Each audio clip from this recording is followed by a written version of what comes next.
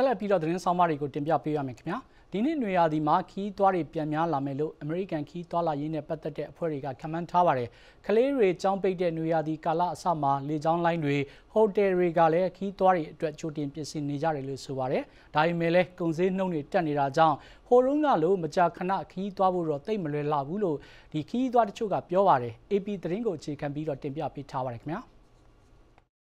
အမေရိကန်တွေရဲ့နွေရာသီအားလရဲ့စတင်တဲ့အချိန်မှာတချို့ကတော့ခရီးသွားဖို့ပြင်ဆင်နေကြပါပြီ။မေလရဲ့နောက်ဆုံးတနင်္လာနေ့ဟာကြာဆုံးစစ်သည်တွေအတွက်အောက်မွေပွဲနေ့ဖြစ်တာကြောင့်ဒီအချိန်ကနေစပြီးတော့နွေရာသီအားလရဲ့ရာသီရောက်ပြီဆိုပြီးအများကသတ်မှတ်ထားတာပါ။တကယ်တော့ဇွန်လကုန်ကနီးမှာအမေရိကန်နွေရာသီကာလတရားဝင်ရောက်ရှိတာပါ။ဒီနှစ်မှာတော့ကိုဗစ်ကရောဂါကျော်လွန်ကာစအချိန်ကလုံးမဟုတ်ပဲ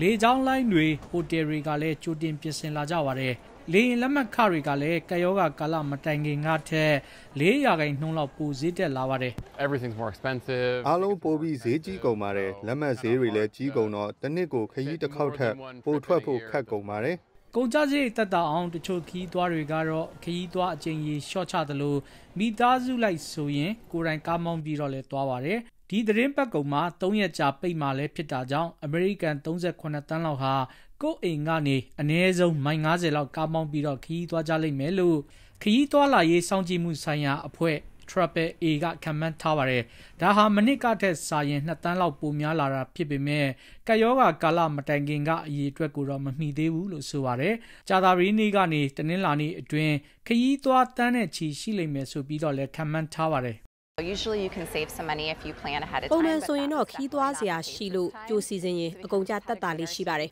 ။ဒါပေမဲ့လည်းအခုကုန်ကြတာများလွန်းလို့စိတ်ထဲမှာကြိတ်မိတ်ပြီးကိုယ့်ဘဝအတွက်အမှတ်တရဖြစ်မဲ့အတွေ့အကြုံတွေရအောင်လို့သဘောထားပြီးတော့အားတင်းသွားရတာပါ။ သူဟာသမီးဖြစ်သူမွေးနေ့အတွက်မိသားစုဝင်တွေအားလုံးခရီးသွားဖို့လနဲ့ချီကြိုတင်စီစဉ်ခဲ့ပေမဲ့လည်းနှစ်ယောက်သွားမဲ့ကုန်ကြစည်ဟာဟိုရုံးကမိသားစု၄ယောက်သွားတဲ့ကုန်ကြစည်လောက်ရှိတာကြောင့်မိသားစုအားလုံးခရီးတူတူမသွားနိုင်တော့ပါဘူး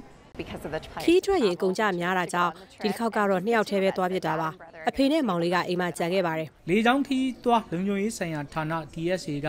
အခုတလောနိုင်ငံတော်ဝန်ကလေစိတ်တွေမှာခရီးသွား2တန်းခွဲကျော်လောက်တိုးလာတယ်လို့ပြောပါတယ်။လေကြောင်းလိုင်းတွေလည်းကယောဂကာလမတိုင်ခင်ကထက်လောက်သားအင်အား6ရာခိုင်နှုန်းကျော်ပူခန့်ထားရသလိုရာသီဥတုကြောင့်လေရင်ခီးစဉ်ဖြတ်သိမ်းတာနှောင့်နှေးကြန့်ကြာတာမဖြစ်ရအောင်လဲပိုအစ်စ်မြင့်တဲ့ဤပညာတွေသုံးပြီးတော့စောင့်ကြည့်နေတယ်လို့ဆိုပါတယ်ခင်ဗျာ။